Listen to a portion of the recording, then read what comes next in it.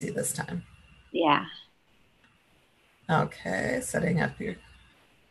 There's, that was the extra step that they threw in.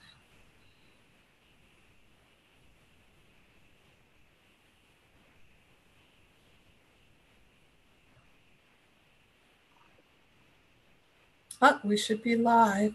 Hello, everybody. Um, this is Cindy with the Quantum Alignment Show, and I want to welcome everyone. I want to just today's we have a guest host, Elaine, and she's going to be talking about the secrets for an audacious empath or gutsy empath. Let me just tell you a little bit about Elaine. She's a mystical, highly sensitive, empathic healer, and a projector in human design. She so she tends to know a lot about other people and not so much about herself. So she had to change that to keep her sanity and health. And she's noticed the same tendency in other empathic people who put others first without understanding that they may not have the time or energy for just one more task. For an empath who's hardwired to serve, it's hard to know when enough is enough and call it quits or set boundaries. So, as empaths in business, some of her clients and highly sensitive empathic healers often sell themselves short, not, not charging enough for their offerings and discounting or giving free services to a person with good hard luck story. It's hard to know when you're valued when the bulk of your service is invisible. So, driven to find a cure, driven to find a cure, she spent decades for psoriasis, decades studied into Eastern Western energy therapies and the divination arts. I mean, I was looking at Elaine's list of qualifications, and oh my goodness, we that would take our whole hour. But she's a Reiki master, an iridologist, a licensed massage therapist, a Breema practitioner, health coach training, habit of attraction coach, soul realignment practitioner, an astronumerology practitioner, a human design practitioner, aroma acupoint practitioner, therapeutic touch, certified angel card reader. Like I said, it's going to take a long time. Assertiveness coach, extensive, along with her extensive study in mind, body, spirit connection. She's a business manager, and to top it all off, she's also a licensed tax consultant and a tax aligned bookkeeper. So now I just want to welcome Elaine and I'm going to kind of disappear here because I'm interested to hear about what the secrets are to being an, a gutsy or an audacious empath. Okay, thank you, Cindy. So, yes, I have a lot of certificates to my name. That's all part of this concept of one of the different aspects of playing out being a, a empath so um, I am just going to jump right into, uh, I have some slides for you.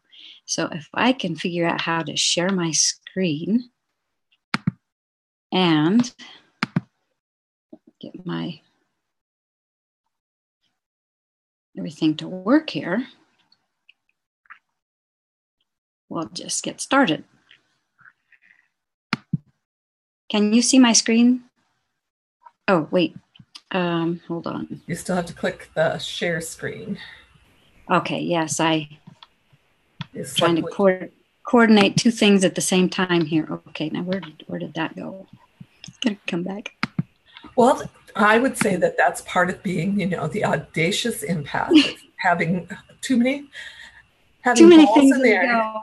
and it, you want to make sure yeah. everyone is. So whenever you're ready to share screens, we're we're excitedly waiting for you. Okay, well, I accidentally closed that. Okay, let's go to that one and let's go to share screen. Let's see if I can get this. Okay. Okay. You are now, sharing screen. Okay, perfect. Okay, so I originally started out with the title of a gutsy empath, but it it just didn't have quite the same.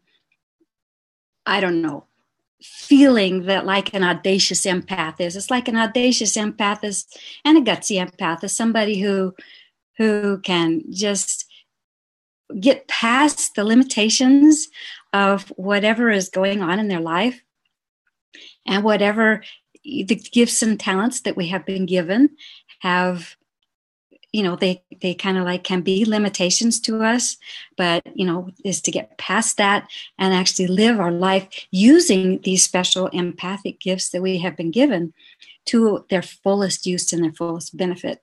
And so it's kind of like to be bold and courageous and confident. It's kind of like the kind of like the opposite of what i've seen with a lot of empaths. So uh, so what i want to share with you today is kind of more like an introduction to um, what is your higher purpose with these gifts, these special gifts that you have been given. So, first of all, we are all empaths. To live in a society, to live together in a, in a collective of any sort, we have to have certain abilities to be able to understand and connect and relate with people and to be able to do that, I mean, to be able to get along and to work together and to and to build a community so that we can move forward together, there has to be some sort of a connection between people. Now, so we all have that to some degree or another. Now, some people, about 20% of the population, has been classified as being highly sensitive. And so that means that we're sort of like the the canary birds, the role models for you know showing other people a more uh, conscious way, a more compassionate way of living. And so, but but there's always a downside to everything. So it takes us a lot of times we get caught up in the downside. But first of all, before we get into that part, um, there's kind of a sensitivity range that goes with sensitive with being sensitive. So you can be like not very sensitive and maybe only just be sensitive to certain foods or maybe certain frequencies of sound or maybe you can feel when the weather's changing. You know, that sort of a sensitivity to all the way over to the other side where you feel everything I mean, you feel everything on the planet. You feel everybody that everybody's emotions and their feelings and their and their health, and you feel even what's on the other side that you can't see. And this is all um, works through what neuroscientists have called mirror neurons.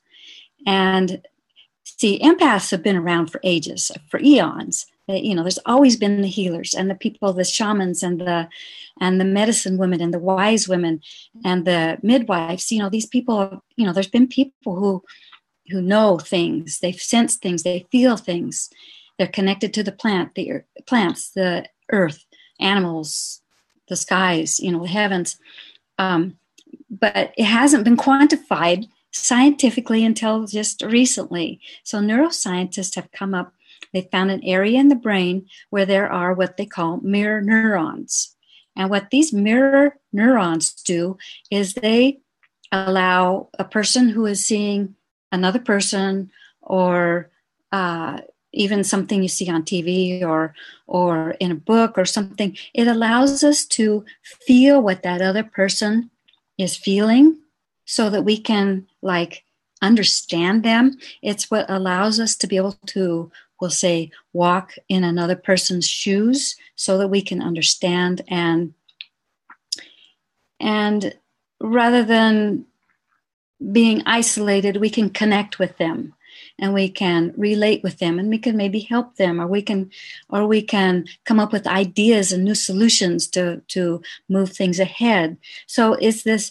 this understanding of other people and their plight and their challenges and their and the good things that that bring us together as a collective you you know as as I, people on the earth and and also allows us to move ahead. So it's a very necessary item for the functioning of our society. Now there's a few people that don't have very many mirror neurons or maybe they don't have them at all and they're kind of classified in the sociopath you know, psychopath department, but they're just a very small minority, thank goodness. But so, um, so this is kind of like the essence of what it is to be an empath. It's like there's more to life than you can see, and there's and the thing with an empath is that they have the ability to see beyond what we'll call the average person, the other 80%, beyond what they can see.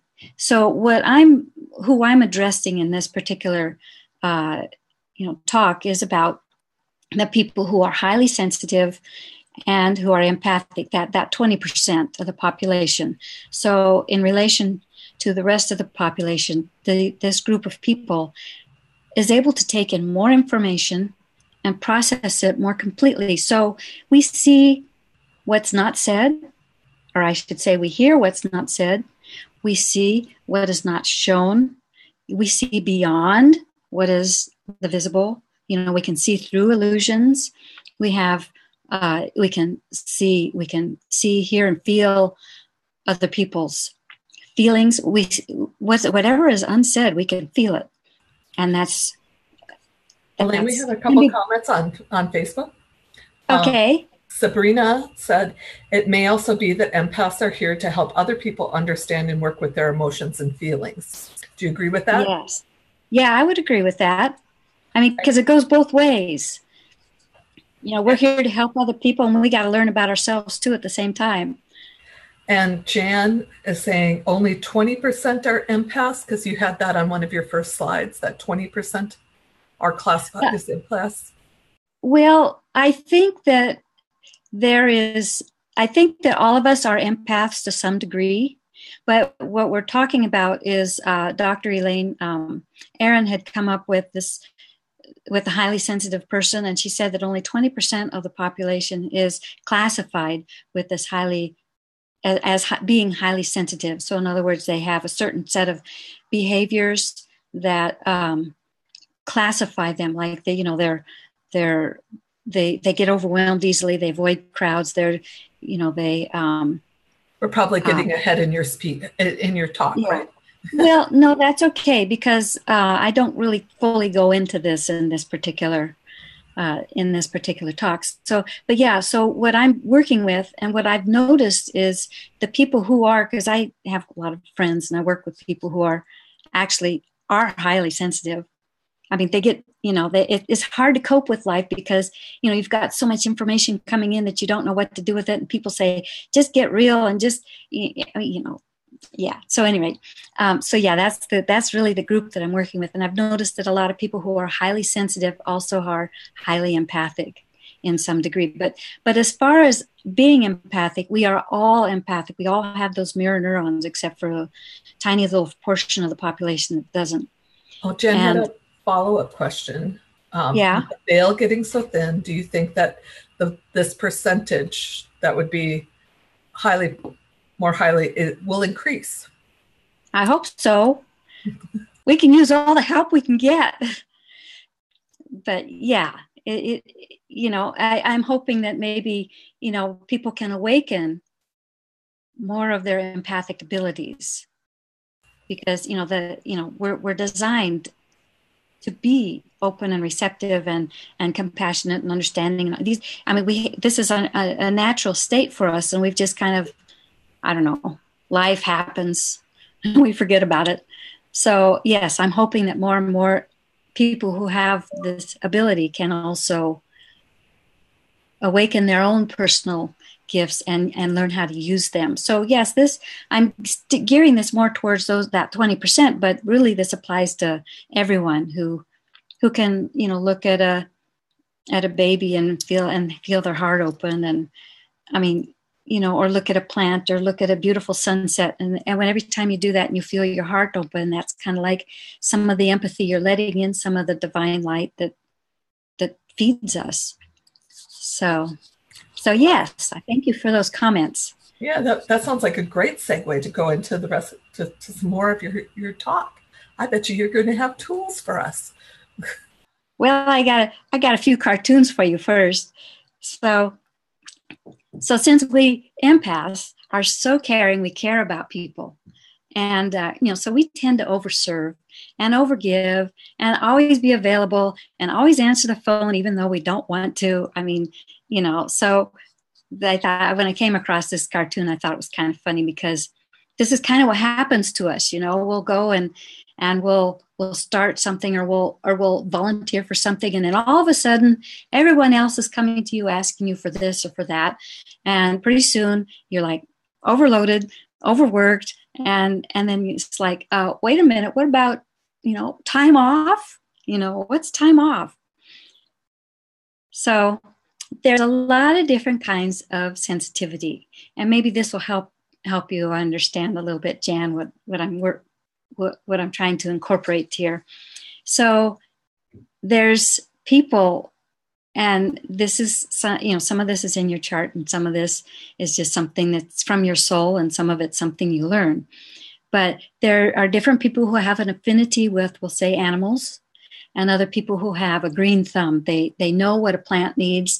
They know they can hear the plant saying i'm thirsty. You know i mean i mean they can you know they just they have a green thumb.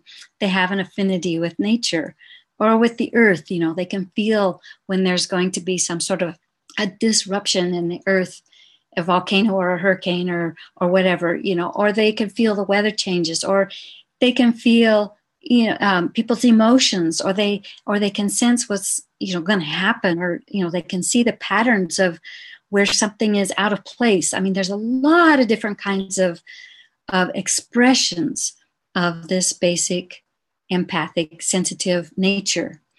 And each one of them is individual to you know you. I mean you have your own specific areas where you are really really talented and very uh, adept at interpreting the information you receive from that particular area. So let's take a look at the human design chart for a little bit, because this is one area where we can kind of get clued into some of what is, uh, some of where your sensitivities are. So let's see if I can get my little point. Oops. Ah, hold on. I'm going to get this back.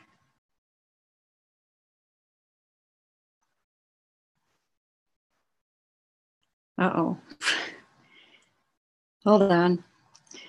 I gotta. Well, well, while while you're getting that back, um, Sabrina had mentioned, and this is pro- this goes along with what you were saying, different types. She said she she knows she's highly sensitive, and she watched a documentary about someone on trial for murder last week, and it was very oh. difficult because she knew that he and a number of people were not telling the truth. Uh huh. So that's one of the type of sensitivities that you might be Right. Yeah. You just know. Um, darn it! I don't know how to get my thing back. Um, oh, here we go. There. Figuring out my devices here. Any rate, um, okay. So I get my little pointer.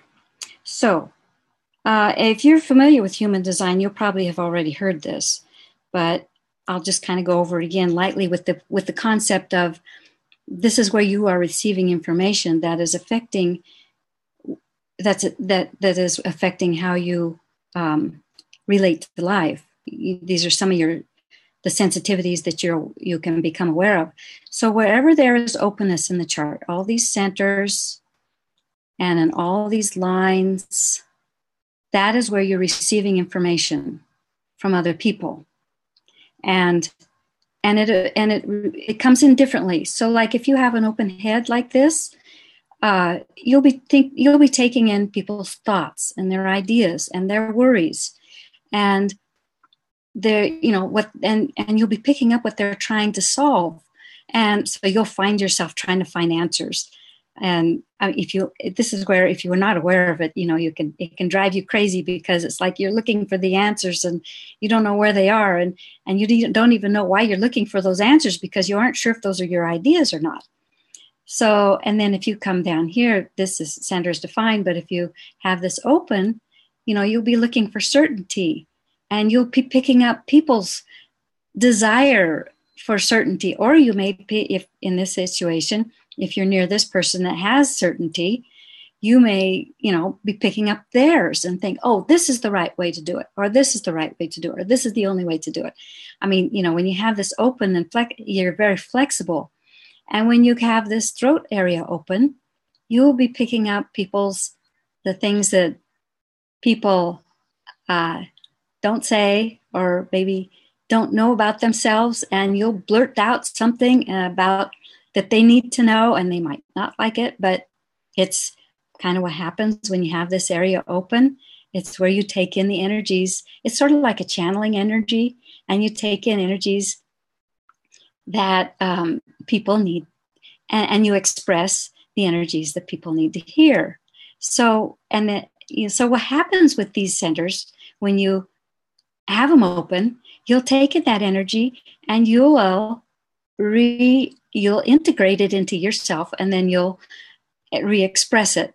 And this can be really confusing for you especially when you get down here to the g center or the identity center. Is just like who you are and your lovability and how you can how you move through life and and what you're going to do what direction you're going to do to go. And if this is open uh, you can pick up all sorts of people's ideas and so one day you know you say i'm going to be a beekeeper and that's what my role in life is and you know and for a little then a little bit longer time will go by and you'll get together with somebody else and say oh no i'm going to be a master gardener that's what my role in life is and then you'll go along for a little while and say, Oh, I'm going to forget the whole thing and I'm just going to go build a building. And I mean, so that's how your identities can be. You pick up other people's identities and their certainties, and you think it's yours. And it can drive you absolutely crazy because you don't know who you are and you think you're this and you think you're that and you think you're this, but nothing ever seems to come out right. So I just lost my there. So okay. Elaine, with all all your qualifications as you're finding it, because I don't have your chart right in front of me. Do you have an open G? No, this is actually my chart. Oh, so this is your chart. Oh, well, yeah. So I do have an open G, but I still go do everything because I've got the gate 48 and I've got the gate 56 and 11, which has to do with all these ideas that I've got to solve all these problems for and the open root. So, so yes, I, I know what it's like to be going crazy because you don't know what in the world you're supposed to be doing. And that's one of, you know, that's a big challenge for a lot of us. And it raises a great big question and because you don't know, then you end up over here the, in the open will and you have to prove. You have to prove yourself. You have to prove you know what you know. And you have to prove that you're worthy of being loved and accepted and respected and and all those things that we're trying to overcome because as a child when with our gifts, you know, people said, oh, you're just off in fantasy land and oh, you know, get real and oh, quit being so sensitive, quit being such a crybaby and all that stuff. And, you know, we've got to overcome those sort of things as we that we learned when we're little to cope with so that we fit in. So this is what we do. This is where we bend over backwards to fit in, is in our will center, to prove that we are, you know, worthy of fitting in and being part of the collective. And and you know, but even yet we still don't know what our real place is. So then you get over here where you pick up everybody's feelings and you go into like you, you know, you might be feeling just great and you go into a room, uh, you know, for a meeting or something, and all of a sudden your legs get tense and you get a little shaky and you get a knot in your stomach and your heart gets tight. You say, "Uh oh, I think it's time to leave." But you know, you have to weather the weather the storm because that's part of your job or something. But it's very very stressful. And then you get over here to where you pick up everybody's fears. This is the spleen center. You you pick up, you know, you're worried about the future, you're worried about failure, worried about success, worried whether you're good enough, you know, worried whether life has any meaning. I mean, these are all all fears that live over here that you pick up. And and you'll pick up people's life force. You know, they might be full of energy and raring to go, and then there you are or you might or they might be exhausted and then you get around them and you're just dragging your tail and you don't know why. And down here with the adrenal energy you feel like you have to there's so many things you have to do and there's just no end and and you end up like this. So the thing with the open centers is when you understand what it is you're receiving from them then you will be able to um, like address them. You can say you know you can let them go. You can let them you can understand where these things are coming from so that you can uh, you know let it go change you know the way you respond to it. But when you don't know which a lot of times you know is budding uh, when you're just learning about who you are and and you you don't you when you're coming from not knowing who you are you know and because we live our lives and we don't really understand ourselves then these things they can that they think they, they contribute to feeling overwhelmed and and powerless and like you're everybody's beck and call and and you do everything you possibly can to keep the peace because you heaven forbid you don't want to have to weather some more emotional storms. And so i mean it, you know these are behaviors that happen with uh, with empaths they're kind of well they happen with everybody but in particular people who have um, particularly challenging tra- childhoods that come from from not being understood as a not, not having our gifts understood. And we as children not understanding what these things are good for except to get us into trouble. So, any rate, then we go on and you know, it's like we never get a rest because we're always trying to prove things or do things or whatever. And it's like, okay, we finally need to take a break. Well, Sabrina's agreeing with you. I'm sorry on Facebook. Sabrina, like, agreeing with you. She a couple of her comments. She said it can be very confusing, confusing indeed when there are open centers and you're an empath. And she yes. says um, she just learned about human design in the last six months, and it's amazing, absolutely amazing. She's a mental projector, and she can possibly take on so much from other people, and she's always proving. And yeah. she also said, You brilliantly explain the psychology of an empath. Oh, great. Well, thank you. Yeah. Yeah. So, yeah, I've, I've been there and done that. So, and I've watched a lot of other people been do that too, you know. So, yeah so it's it's really common so you're not alone so so after dealing with all this stuff all you want to do is go find a cave where you can just hide out and and not have to deal with anybody and not have to deal with anything and just just you know rest and try to figure out who you are. So empaths have big hearts and we care about people. That's kind of like our biggest gift that we have to share. It's the essence of who we are, that we are like constantly broadcasting. And so it makes us a target for people who want to take advantage of us, but it's also the biggest blessing that we can offer people and uplift them. It's just part of who we are, it's just part of our inherent design. And we're always there and we're always ready to help and we feel the pain of others and we feel the pain of the world. And a lot of times, without even knowing it, we'll take on the pain of others and shoulder their responsibility. And guess what? We get sick and we get burnt out and we have health problems. And we just, you know, then we start wondering what in the world is life all about. So one of our biggest jobs is we unconsciously transmute other people's energies into a higher vibration. This is all part of this big heart love, you know, coming from a loving place. And and this in itself is a huge job because it's happening invisibly. And so, you know, we may feel like, why in the world am I so tired when I had a good night's sleep and I've been eating good? But and and my stress levels are not too high why am i exhausted? And it, it may simply just be because you are working overtime in another dimension where you can't be seen and uh, where your work it can't be seen. And you know busy raising the vibrations of of the planet and of the people and of our social consciousness and this is all part of our role. So when we understand this we can be gentler on ourselves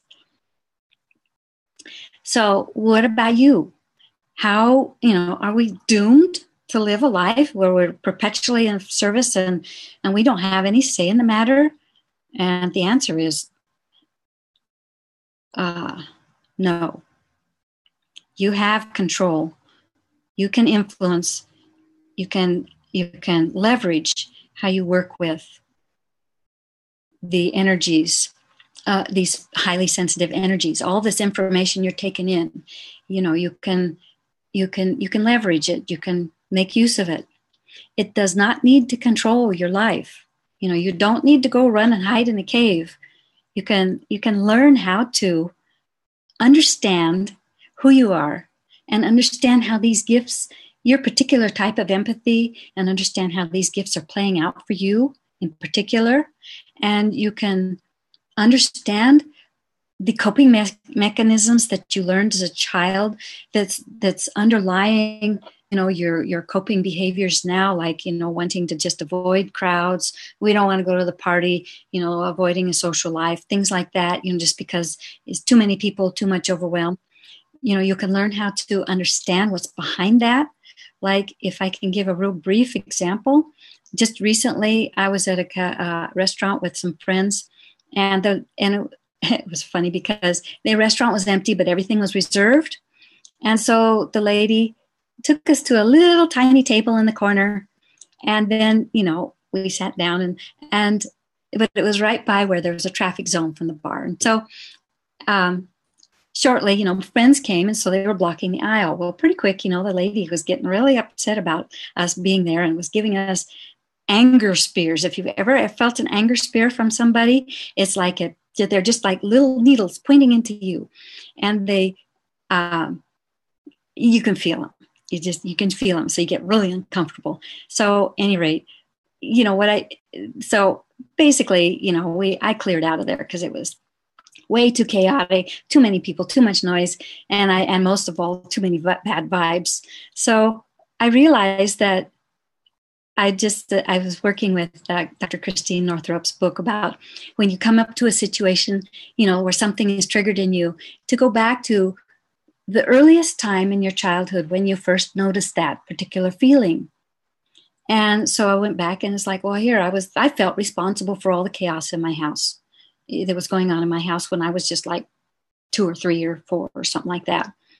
So, so you see, these are the things that that as a child, see, you don't understand what's going on. You just know there's chaos in your house, and you and you come up with, a, especially if you have an imagination, you come up with some sort of a reason, and you think, well, you're responsible, and there you go. So, so these are some of the underlying um, beliefs that can interfere you may feel responsible and so then you it makes you have to go do something or to say yes or you feel guilty because you're going to let somebody down. So you say yes to something you don't want to do. So see there's a, these are the things that are your your deeper motivations trying to understand so you can catch them and nip them in the bud before you open your mouth and say yes.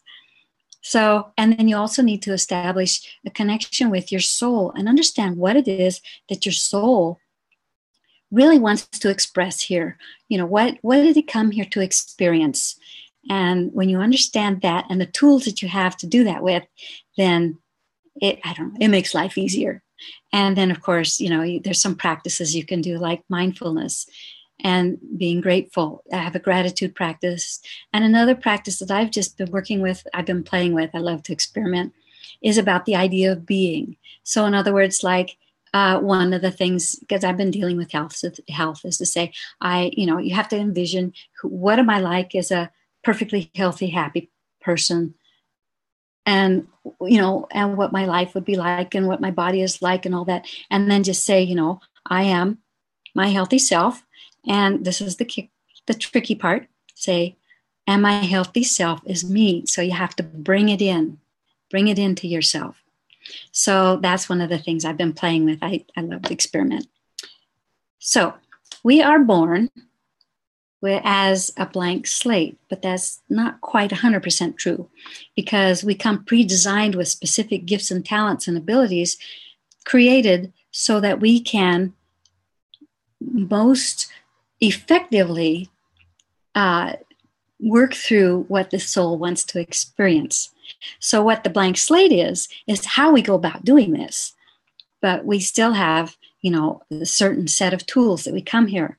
And that's where the, the birth charts are kind of like a roadmap that gives us the, the breadcrumbs that takes us to, you know, help us follow where we're going. So, one of the biggest challenges of uh, a lot of people, and in particular, you know, highly sensitive people and empaths, is this whole concept of self esteem and it's and its re- relatives of self love and self worth and, and self value. And these seem to be underlying so many of the behaviors that we are afraid to do. And they also underlie the, the, the behaviors that, that empower us too. But like, you know, like it's really hard to set a boundary. You know, why? Well, because I don't feel like I could, I'm really worth um, uh, having my opinion heard. It, eh, you know, it's like if you don't want to go to the restaurant to have dinner, you know, how do you set the boundary? I mean, you know, do you say no and then worry about how that person is going to respond and feel guilty because you're letting them down? And oh, you know, this is a good one for empaths because we understand another person so much, and you know that that person eats better and digests his food better if you go to the restaurant. But for you to go to the restaurant, it's stressful. So, I mean, do you sacrifice yourself and go to the restaurant for the good of the other person, or do you take care of yourself? These are huge questions that we're always being faced. And underlying all of this is how we feel about ourselves. If we love ourselves, if we respect ourselves, if we appreciate ourselves, if we if we value ourselves and that's a big challenge for us to step into and walk in our value and say, I am valuable just as I am. Especially since so many people can't see all the work that we're doing invisibly. And they just look at us at the surface and say, oh, well, you know, you're not doing anything. You shouldn't be tired. It's like, yeah, well, you don't understand half the picture. So, with that being said, I want to invite you to define your own destiny and to tap into your own inner powers you know and your empathic abilities and and use them as the for the tool that they are to help you uh, manifest and and live out the soul experience that you know you came here to to do to be to live. And you know to dream for yourself a new life to dream into the world a new world. And you know one of the biggest tasks of an empath. This is one, of, you know, because of the way we are wired as being heartfelt people, compassionate, caring, kind, generous, you know, loving. I mean, respectful, you know, sensitive, uh, connected to everything. These are kind of like our, our, our strengths.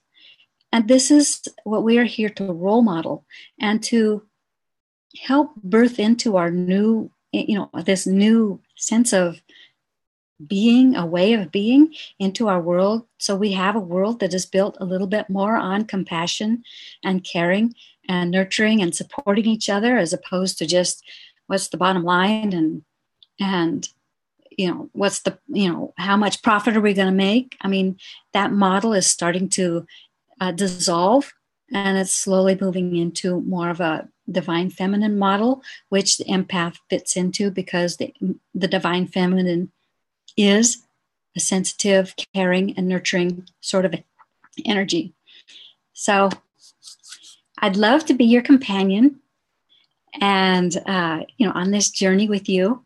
And um, you can go to my website. It's elainec.com and learn more about what I, you know, my, what I have to offer. And, and you can sign up for a bunch of free video resources. I do astro astronumerology and and soul realignment work. And and these are like and and the human design work. And these are all like like like the little breadcrumbs that help help you understand who you are and where you're going. And then you know we're all here to bring in a wonderful new world. So i invite you to join with me and let's all work together. Oh what a wonderful thing to say. Um again on facebook we've had some comments. Do you want to Stop sharing your screen. Oh, there you are. Yay. Yes. um, so we did have some questions on Facebook. Sure. Or actually some comments. Sabrina again, uh, the, the mental projector empath said, This is also true. It's a very difficult role to have, and yet this is truly why we are here. And it was a brilliant yeah. presentation, Elaine. And yeah. Leslie Van Winkle said, Thank you for your thoughts. She's a reflector. And it's uh-huh. always a shock to her when I go out in public and feel all the flying energy. Mm-hmm. So we have some time before. So I'm going to invite people if they have more questions. What type of, I mean, now I, I'm I remember your chart. I mean, you're a mental. You have a lot below that is open. So, are there yeah. When you look at a chart or when you look at the soul realignment, are there specific? I mean, obviously, as an empath, you would know. Like I have an open, completely open G, an open emotional solar plexus, and an open will. Now, so I would imagine I'm imagining or that I can see that I would feel other people's feelings. And when you had mentioned that, you know, mm-hmm. I can change my I am very quickly. Do you do that? well, I can, yes. Uh, yes. Uh, but is there ways that people, if they're looking at their human design chart, if they're not really sure, like with your amount of openness, you must have many different em- empathic skills. I mean, is there different yeah. things that with different parts of the chart that people could see? Well, um, yeah, because I think that, uh, well, intuition is part of the sensitivity. So if you look at, let's see if I can explain this. So, you know, okay, you've got this band work, uh, work, work of sensitivity, this range. And sensitivity includes, I mean, our bodies are always receiving information.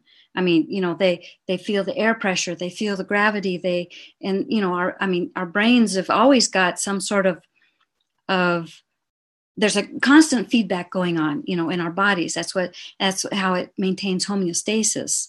And so so we're we're already naturally wired to be sensitive. We have, you know, nerve endings in our fingers and and you know our lips and our tongues are highly got a whole bunch of nerve endings in them. Um, so we're we're consciously able to to feel things and and and sense things we've got our five senses and so you know some people they they do things to some people the way they deal with with receiving information is they block it off somehow. You know they may they may smoke you know that kind of dumbs a bunch of of the nerves uh you know in the physical sense. And in, and on a spiritual sense it kind of puts up a smoke screen so we don't have to see what's going on in the real world. And you know some people just flat out deny i don't feel that you know and because it's so funny to ask people. And what i invite all of you to do is now to pay more attention when you're engaged with other people and watch them especially you know projectors are really good at this. Um, but you know to watch them because you'll ask them a question. Oh you know how was the how was the dinner or, or what how did that meeting go? Oh just fine. You know and, and it's like they don't tell you any of the stuff that went on. They don't tell you the feelings that they felt that they they felt humiliated or they or they uh you know felt like they were intimidated you know. But but as empaths we pick that up. We may or may not say anything about it but we sense it. And we may, and, and the thing is, it took me years and years and years to understand what I was feeling in my body. So, and, and, and this may be the case for many people who are empathic and they, and you know, that are not the 20% that are part of the other 80% the ones that are the 20% they feel things and they know that they're feeling things the other 80% i you know it's I'm playing with this idea, and I don't know if it's 100% true or not, that they do feel things, but they don't know what it means and they don't know how to interpret it. So they just say, Oh, I don't feel anything. Or maybe they'll say, uh, Well, I felt this, but that must be the way I feel. I mean, you know, so so what I'd love to do is bring understanding to this whole concept that that we are we are energy receiving beings we're like huge antennas and we are receiving information a lot of information and we and we just have to figure out how to what it means how to process it well that leads into leslie's question remember leslie is our reflector hi mm-hmm. leslie elaine can you talk a bit about tools you use to help set boundaries because a lot of times as and i'm i'm adding to leslie's question because a lot of time as empaths, we don't, you had mentioned it in your talk, we don't really know how to set boundaries. So, do you have some tools that you could recommend? I tell you, it's an ongoing exercise in trying to figure it out because each person's going to be different. But what I've been working on is the first thing because see, see, the thing is, as children, you know, I mean, this is like hardwired into us. So it's an automatic response. So, you know, the because my biggest problem is I have an employee that calls me all the time. Um, and it's like I automatically reach for the phone because one thing I think it's my responsibility, you know, because he's taking care of my business. And, you know, secondly, you know, I need to find out what's going on. And thirdly, it's just automatic habit. But I know he's taken my energy. So it's like, okay, yeah. So, eh, you know, turn off my phone, don't answer it, let it go to voicemail. What I've learned about, because he's a manifesting generator, is his, if, if the answer doesn't come right now, he calls me up. And then if I wait, then I, and maybe call him back later on. Oh, I, I got it solved. I don't need that. So what I've had to learn with with setting boundaries, and I tell you, it's going to be different for each person, and each situation is going to bring up something in you that you've got to face which may not be very much fun, but you have to do it. And and and it's like there's some fear usually that has to do with setting a boundary. So maybe it's afraid that you know you're, afraid of the, the emotional backlash but underlying that is another fear. Like maybe you're going to be kicked out of the tribe or you're going to be abandoned or you know or they're not going to like you anymore and they're not going to do anything for you anymore. So um so there's so much that it's, it's so interwoven with so many things that that go into that's why each person is very unique and has a specific set and has a specific set of patterns. But getting back to more of a general thing what you have to do to set a boundary and i'm still practicing this. I'm not an expert but we're working we're we're working our way towards being better at it. And and that is to say okay is this something i want to do right now? And is this how is this going to affect me right now? And why am i wanting to say yes? And you know there's a few little questions. And then and what am i feeling? That's probably the biggest thing.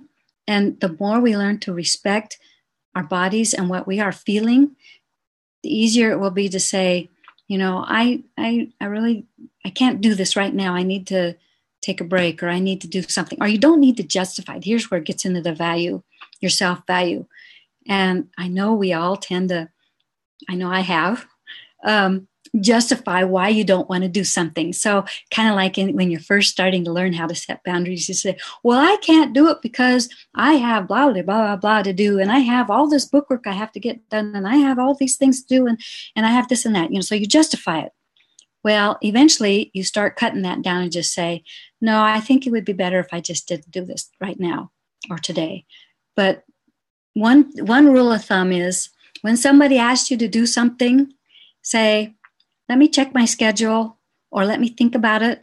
And so you have a minute to go, or a few minutes, or a few hours to go check into with your body. Because the problem with empaths, especially if you have a lot of openness, emotional openness, openness in your head, in G center, uh, root center, when you have a lot of openness going on, is when you're in that person's aura, they're going to, you're going to feel their desire to get this done, whatever it is. And you have to get away. I mean, you know, go to the bathroom or go outside or take a little walk or you've got to get out of their aura so you can sort of like wipe away the cobwebs and say, okay, body, what do you really think about this? And then you can kind of come up with some sort of a an answer. But it's so yeah, it's a multi multi layered way. It's it's not just as simple as like, oh well, I don't want to do it. Say no. You know, I mean, eventually you might get to that point but right now there's sort of a process you have to go through to to get yourself to that point where you just instantly know well, and there's yeah yeah go ahead go ahead well, no there was i mean there's oh well first i want to Elle said she's having to set boundaries with her big sister. When I do, she tells me I'm getting defensive. Uh-huh. Which is annoying. uh-huh. I know they'll do that and they'll you know they'll say oh well you're you're this or oh you're that or or this you know i mean this one person that you know I, my employee that calls me up all the time i mean he gets if i tell him no he gets really upset and it's like i've had to get i well i've just had to walk away. You know and just say well that's just the way it is Well, that that's a technique too. I mean, when Yeah, learning to I walk mean- away, to value yourself enough that I'm sorry, value yourself enough that you walk away. Leslie's Yeah. asking, um, can you define how big is the aura and like diameter? How far? Because one of the tools you're saying is walk away so that you can break Okay. the aura connection. How Right. far do you have to get away? Well, um, most people's auras are usually like six, maybe eight feet out from themselves, depending on, you know, if they're, you know, I, I mean, under normal circumstances. But an empath's aura tends to be more like 10, 12, 15 feet out. So at, at one of our massage classes that I was at, you know, we were playing this game of, how, you know, walking away to see how far it was until you could, you know, feel or getting it far away and then walking towards the other person and see where you could start feeling their aura. And it was like way across the room. So, uh, you know, empaths have big auras. That's how they, that's how they know so much. They're inter- intersecting with so many other people at all simultaneously and with so many other, eh, with the environment and everything that's going on. So, And it's not all in your human design chart. I mean, because no. Yeah. okay, because you're a projector, I'm Yeah. a generator, and then Yes. Annie here on Facebook is a manifester, Right. and all of us are empaths. Right. I don't. I empaths don't know. Uh, uh, there's no one specific type for an empath. Well, Annie is saying she has she's having to set boundaries with the generator she's working with, Uh huh. and she can't take it all in. And as a manifester, she needs them to slow down, which is so difficult to say in the moment because there's so much energy lost. Right. Yes, Uh, that's a that's a challenge. And Leslie is going to share the video with her Reflector Facebook group. Oh, This thank you. Excellent. And Elle is saying she didn't know empaths had larger auras. Wow. Yes. So so- this is something else. I mean, I invite all of you to play with this because I mean, don't just take my word for it. So you know, when you get you know with your family, your your partner, or even you can do this with your your pets, but just you know have a few feet away. I mean, you sort of have to. You can rub your hands together, you know, and then you know you can do this where you can kind of feel the energy in your hands, a little tingly or something, or pressure or whatever, and then just go. Uh, you can do this very innocently too um, and then just go you know walk up to somebody and just notice when you start feeling a pressure against your hands. And and and you know and i don't know if if you if you're with someone who's sensitive and then they can do that with you you know. And we do have the ability to pull in our auras or or expand them even further. So they're empaths are really good at manipulating energy so because you know it's like we're chameleons, we can match someone else's, we can take in someone else's energy. This is where the healers come in, the empathic healers, and they can match someone else's energy, and that way you can really connect with them, and then consciously raise their vibration out of their pain and into a more of a state of well-being. I mean, these are That's a conscious thing that you'd have to do there so Oh, that you it don't takes get practice. yeah, it takes practice. Um, we have a couple more questions and we're coming up on the hour. So we have Okay. two more, three more questions. One just popped on. Lynn here in on our Zoom said those of us who have bigger auras might need to go further away from them. And I don't always know how big the other person's aura is. Getting my aura out of theirs is important to me and them for clarity and to help diffuse any upset. So that's probably why you recommend going to the bathroom, leaving the room. Uh, going out, going out in nature is ideal. Well, Yeah. isn't going out into nature one of the ways that's easier to that you mentioned to clear? Yeah. Because not only do you have to break the aura content, you might you might have already taken it in. So right. um, and Right. you, does nature help that? nature will help that you know because i mean you know um, you can go out and and just like if you can get around trees or around wa- water's really good. If you can i- i- if nothing else works you know go take a shower or take a bath. Water works great. And if you add a little prayer when you're taking your shower or you can add a little prayer anytime. Um, in fact, I do this quite a bit, and that's just calling in the divine, divine beloved, and and and asking him to clear me of everyone's uh, energy that you've taken on, or that you've been around, or that you've assimilated and you don't know, and then you know transmute it to divine life, and then restore you to your highest and most recently upgraded vibration. That's something I do all the time. It doesn't matter where I'm at. But then if you're in the shower, you know, you can, or the bath, you can ask the water, the inner, the spirits of the water to cleanse you and make you pure and whole again. I mean, you know, there's all these little things you can Those do. are very nice tools. Yeah. A couple more, couple more questions or comments. Kirsten uh, on Facebook says, I'm a projector and I love being in big groups. It Mhm. seems to be one of the rare times I feel energized. hmm I'm one of the few empaths that I know that aren't in, aren't uncomfortable being around people. I've wondered if that's an indication of a lack of sensitivity. I also wonder if it's it is from having so many life experiences that have made me more accepting. Yeah. No, there are two types of empaths. Basically, there's the extrovert, which does thrive in in outer in, in being with people, and even though they are an empath, you know they they're picking up all these feelings and their energies, but I don't know. They just I don't know. They they they've learned how to process it somehow so that it doesn't affect them so much. But they still do need time out. It's just um, they can handle other big social crowds and events and things like that a lot easier than a lot of like a lot of other ones who are more introspective and um, introverted and Well, being a hermity being a projector, that when she says energized, that might be, you know, picking up other people's energies taking up, Yeah. and that can energize you. Um, yeah A couple more questions on Facebook. Jane uh, says, Phew, yes. As a sensitive empath, there is so much overload to process and integrate. Uh-huh What is mine and what is another's? I tend to hide a lot, but honoring our gifts is important. And she uh, recommended a tool bring golden light down over your head with your hands through the whole field. Give the energy to a stream of transformation deep underground. there we go yes grounding is really important so if you can imagine having this column of light come down through you and and going into the ground and you growing these deep like deep tree roots you know that that reach down deep into the earth and grab around the rocks you know. That'll help make you more solid too.